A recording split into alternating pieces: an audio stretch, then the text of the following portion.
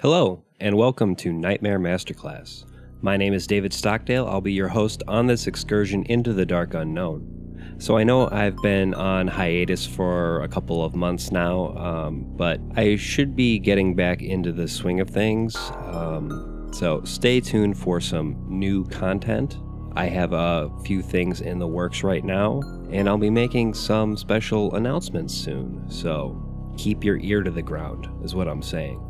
In this installment, I'm taking a look at a YouTube channel called Local 58 Community Television. As of now, Local 58 has seven videos on their channel. The videos tend to vary in length from anywhere between one and five minutes. I thought this would be an opportune chance to do a deep dive on an independent art project, specifically one that I feel merits your attention.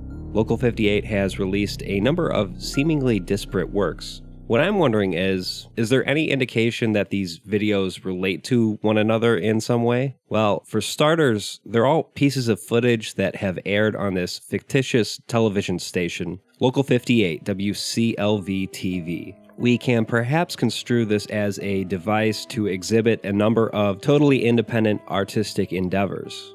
Perhaps that's the pragmatic way to think about it. But if there is a common theme here, I would say it's the manner in which media and technology have shaped the dominant perspectives of our time. And I dare say there's a distinct apocalyptic tone that resonates throughout the series. This work is concerned with the course of history. It's concerned with the past, the present, and future of civilization. I think what makes Local 58 both effective and cohesive as an art project is the tension it generates as a result of the work's adherence to the formal trappings of a local TV station.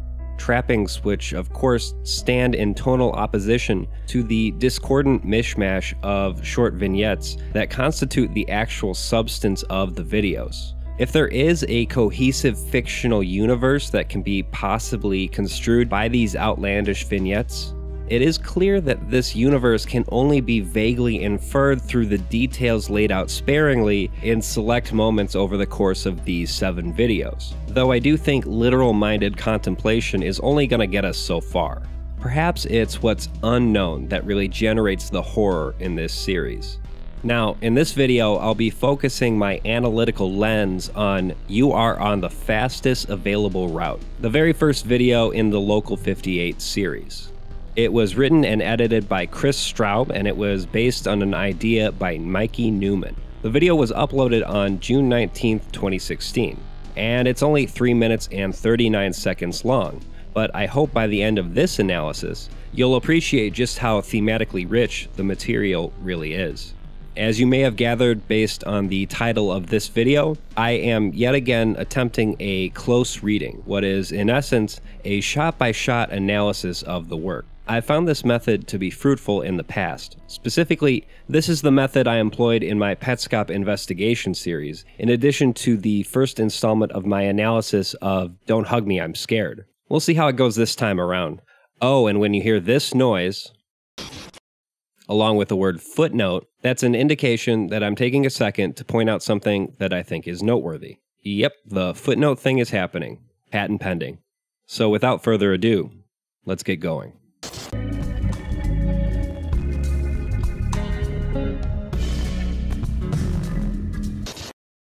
Here's a breakdown of events. We are first exposed to a channel lineup, the likes of which you might see on a local TV station. As you might expect, a contemporary jazz track starts playing. Apparently, we're watching a channel called Local 58, WCLV TV. Looks like it's pretty late. The station's schedule appears. At 12:05 a.m., something called the Midnight Movie is playing, and at 1:55 a.m., paid programming will begin. Although this is strange, the text for paid programming starts to get deleted almost as soon as it appears. Footnote in terms of setting the mood here, Local 58's aesthetic gives the impression of a television being left on late at night. I should also note that a number of elements towards the very beginning of this work raise the question of who exactly is overseeing the station's operations. Let's take, for instance, the fact that the text for paid programming starts to disappear almost as though someone is intentionally deleting it. It happens so quickly that you might either miss it or not really have the chance to consider the potential implications. In addition, the fact that the video is riddled with static indicates that perhaps we are watching an old VHS tape. Let's also note the aspect ratio 4 3. It's an older setup, one more commonly used in previous decades. It raises the question when exactly was this video recorded? If indeed we are watching a recording. Each of these elements work towards building a sense of ambiguity, which looms over the rest of the work. I don't believe we should think of this occurrence strictly in literal terms. That is to say, I don't think we need to try and figure out who in particular is messing with the schedule, and I don't think we necessarily need to understand their intentions. Rather, it is perhaps best to understand it as the start of a thematic motif. The theme being that there is some underlying force at play. Something not immediately evident is acting behind the scenes. Let's continue. The music abruptly stops and the video cuts to what appears to be dashcam footage. A person is driving in the rain. There's a bridge in the distance. You can hear the pitter pattering of raindrops on the driver's windshield. A voice says, Proceed to the highlighted route. Based on the tone of the voice, it's clear that this is the driver's GPS, their global positioning system. Footnote what we have here dashcam footage, a GPS leading the way. These are products of the modern world. The manner in which this story is being told is only possible through the use of this modern technology. Keep this in mind as the video progresses, and I think it might shed a bit of light on some of the underlying themes here. Let's proceed. The GPS gives additional directions. The date at the top left hand portion of the video indicates that it's November 21st, 2014. It's nearly 2 a.m.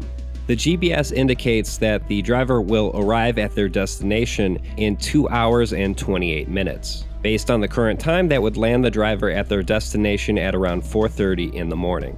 The GPS gives additional directions and relays to the driver that they are on the fastest available route. Footnote.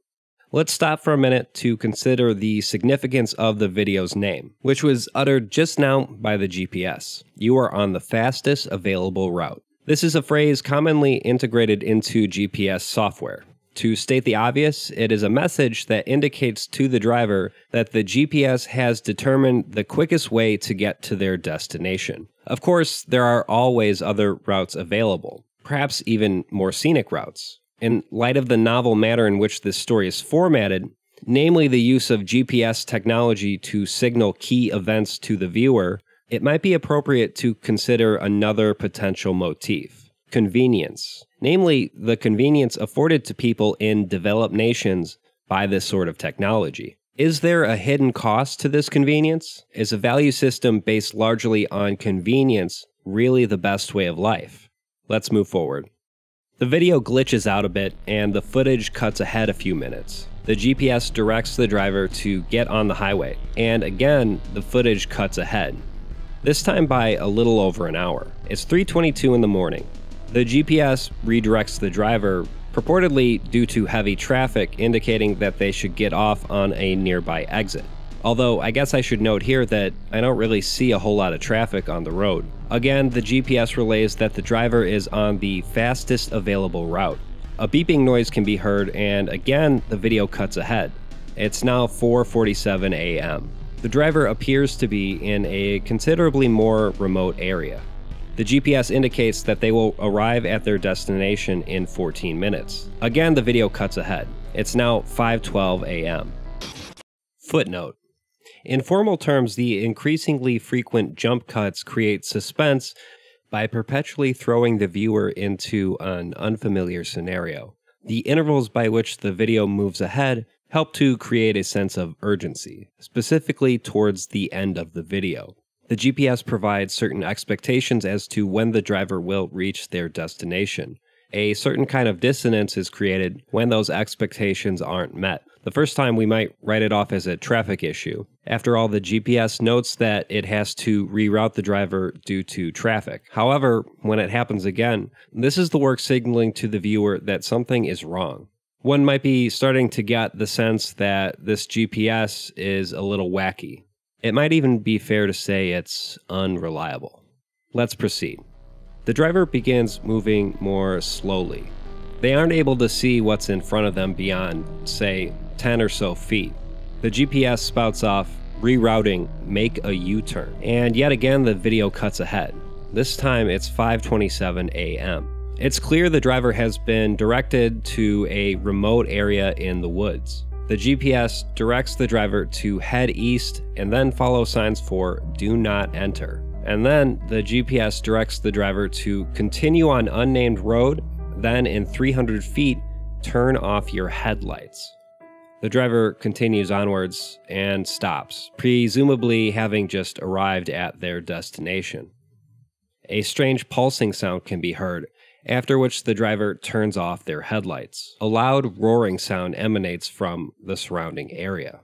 The driver then attempts to escape from whatever is making the noise. Meanwhile, the GPS continually directs the driver to make a U turn. And then, well. Your destination in 250 feet. Rerouting. Your destination will be in 50 feet. You will arrive at your destination.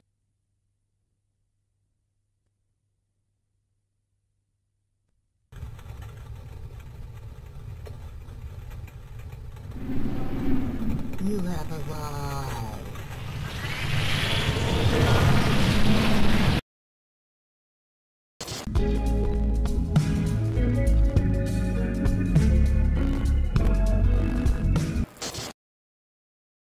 In 1989, a political scientist by the name of Francis Fukuyama wrote an essay called The End of History, in which he considers the possibility that with the end of the Cold War, human civilization has entered a new era, a period he referred to as the end of history, essentially meaning that we as humans have landed on the right ideas in terms of our political and economic development. This concept, the so called end of history, was not exactly a new idea at the time. The highly influential conservative philosopher Georg Friedrich Hegel considered the Prussian state to be the fulfillment of history. Conversely, Karl Marx thought communism would be the final stage of political development. Fukuyama saw the collapse of the USSR as an indication that communism had ultimately failed and thus the liberal democratic state had proved itself capable of replicating the conditions necessary for its own existence, thus sustaining itself as the dominant system on an indefinite basis. Fukuyama cites the widespread availability of VCRs as evidence of this. This example might seem quaint by today's standards, but one could just as easily use smartphones as an example. It's estimated that roughly 5 billion people across the world have mobile devices, and about half of these devices are indeed smartphones. The advancement and availability of certain kinds of technology is often cited by those who seek to affirm the virtues of our present system. But is it possible that technology will play a major role in upending our present system? This is something I want you to keep in mind as I get into the meat of my analysis of Local 58.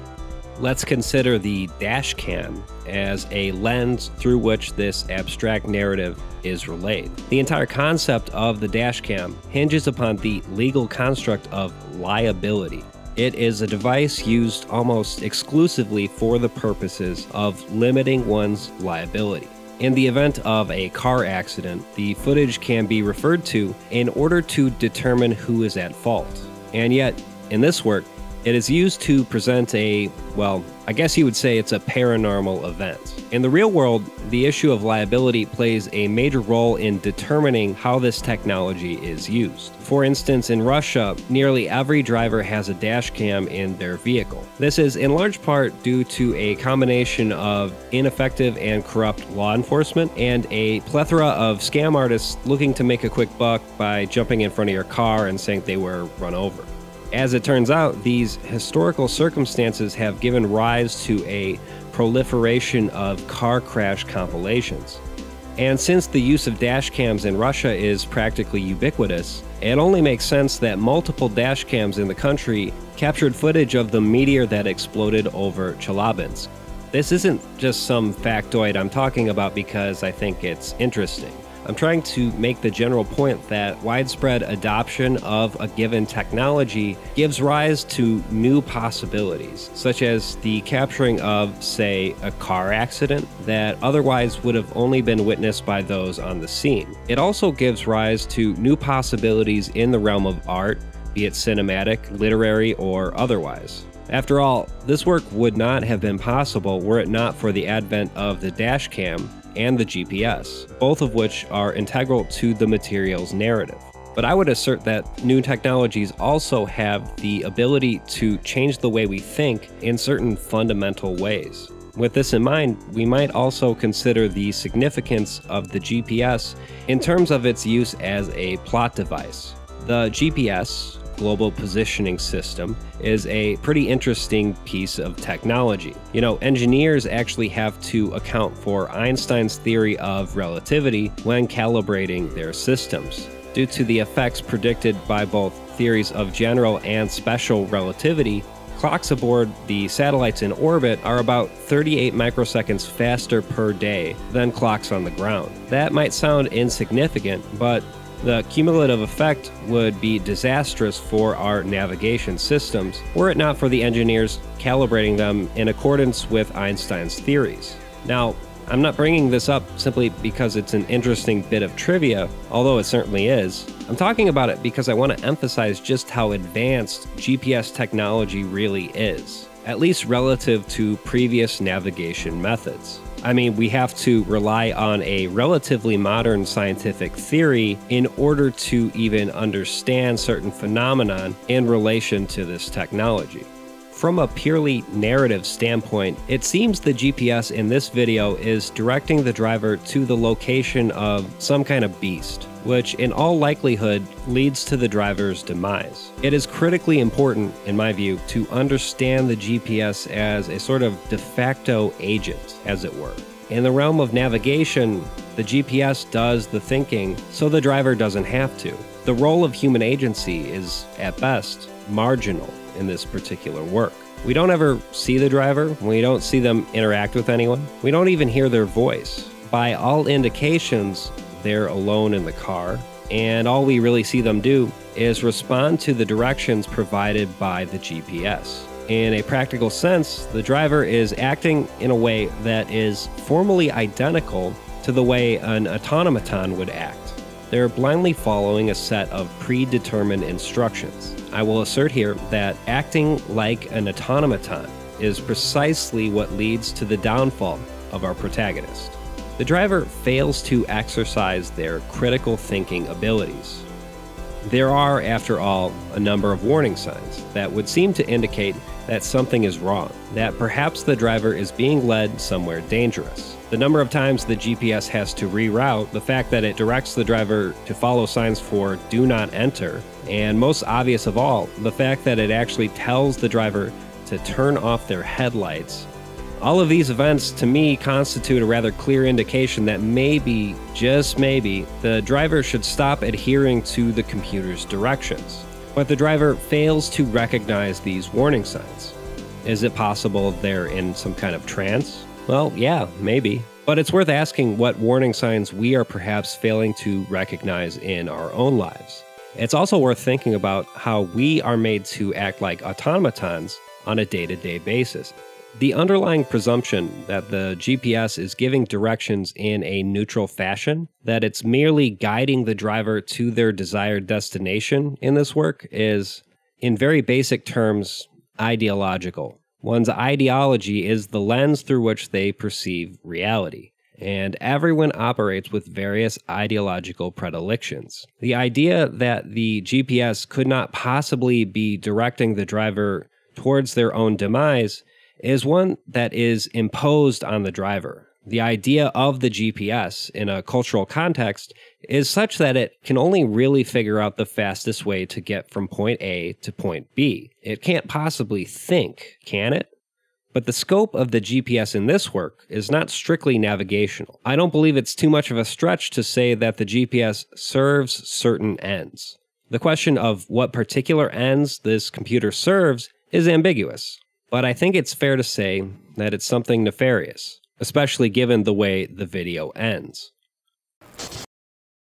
From a thematic standpoint, it makes sense to understand both the dashcam and the GPS in this here video as symbols, technological feats representing the peak of modernity. Based on the events depicted in this video, one might be tempted to interpret the work in apocalyptic terms. If pieces of technology such as the GPS or the dashcam work as a correlate for modernity, superficially, it appears the work is suggesting that certain elements or aspects of modernity are leading us to ruin.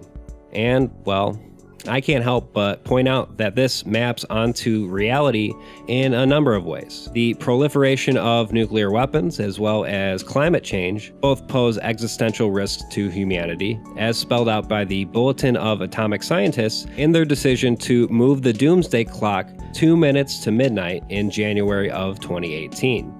In addition, the scientists cited, quote, increased use of information warfare to undermine democracy around the world, amplifying risk from these and other threats, and putting the future of civilization in extraordinary danger. So, too, would I argue that advances in automation as well as artificial intelligence both pose a potentially serious challenge to our economic system. A recent study suggests that robots could displace up to 20 million jobs by the year 2030, with lower income regions being more vulnerable to job displacement.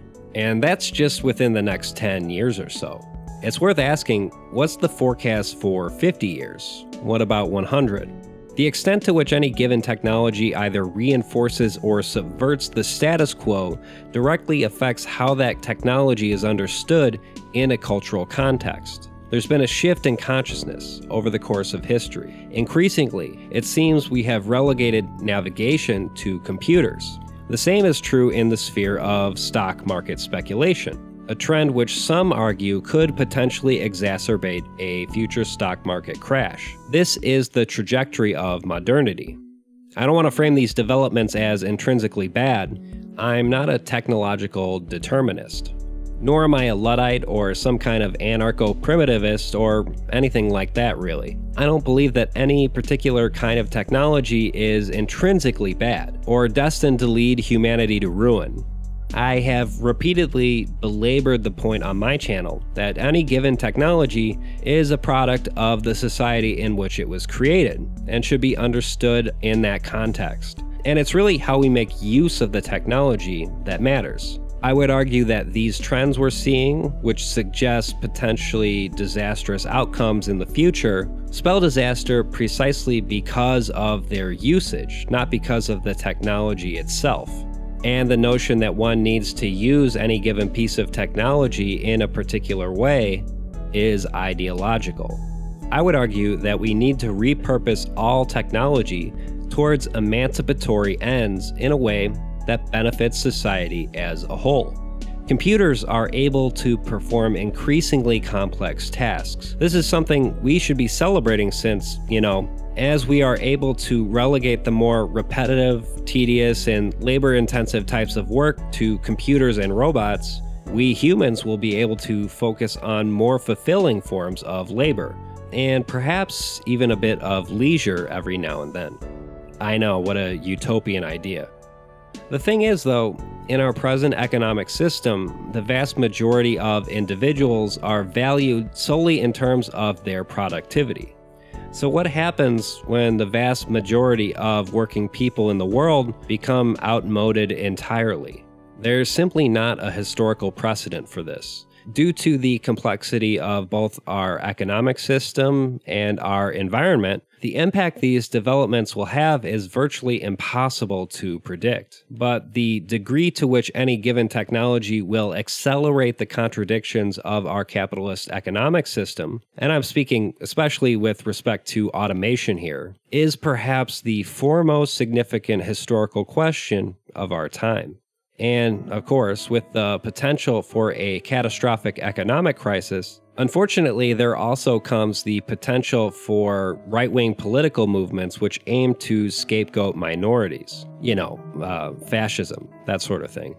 I think the beast in this video represents a dark potentiality. It signifies the danger that looms in the not too distant future. I think of it as the underbelly of this neat little technocratic utopia you might see espoused by those in, for instance, the transhumanist movement. Those who embrace the advancement of AI, automation, and other technologies. But of course, transhumanists at least understand the radical implications of advances in artificial intelligence and increased automation. Those who brush off or downplay the potential for these developments to upend our entire system, those who argue, for instance, that other jobs will replace the ones lost by advancements in AI and automation, are not merely naive or in denial. No, it's far worse than that. They're blinded by a certain form of ideology, one which prizes capitalism's ability to adapt to various circumstances, to subsume, appropriate, and commodify every last bit of culture in existence. But every system has a breaking point. And there comes a time when the dominant ideology of a given period becomes insufficient in terms of its ability to properly account for what is happening in the world. I would argue that coming face to face with the beast in this here video signifies the tension that occurs when the veil of this ideology is lifted, when the material reality of a moment in time makes itself apparent. In these circumstances, the true poverty of such an ideology will be laid bare for all to see. I'll have a link to Local 58's Patreon in the video description. I encourage you to throw a few bucks their way if you like what they do. I should note the disclaimer on their Patreon page. You have the right not to support community television, but through inaction, you are contributing to the death of the medium. I don't necessarily condone this vulgar individualist way of thinking, but you know, I just thought it was interesting.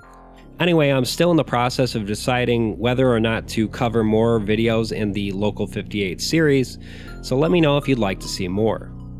That wraps it up for this installment of Nightmare Masterclass. If you enjoy my videos and have a few bucks to spare, please consider supporting me on ko-fi.com forward slash nightmare masterclass. Any amount, large or small, would be highly appreciated.